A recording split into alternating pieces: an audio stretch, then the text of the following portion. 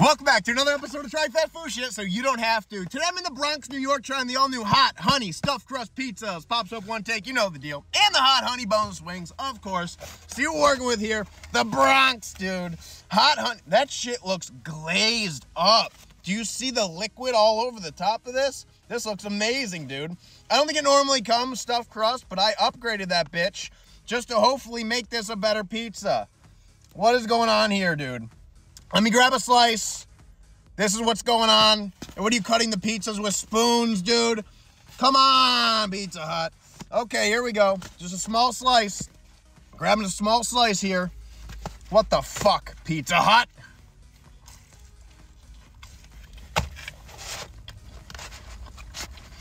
I'm trying. I'm trying to give a damn good review. Can't get a fucking slice of pizza out the box. Okay. You got the anal warts on the bottom. You love to see the little dimples, dude. You're getting hot honey right off the bat, which is great. Let's take an actual full bite here. Mmm. Look at that. That right there, hot honey. And I love it, dude. You got a little bit of sweet, get a little bit of heat. And it's immaculate, man. They should have had hot honey as a topping forever ago. Let's hit it from the back, see what we're working with here.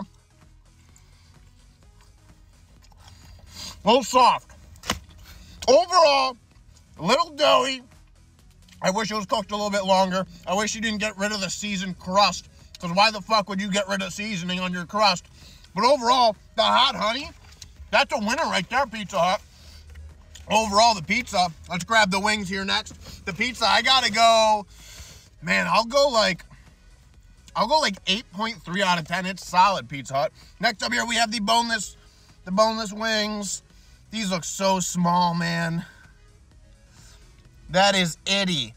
It is bitty, dude. Okay, here we go. Hmm. Hey.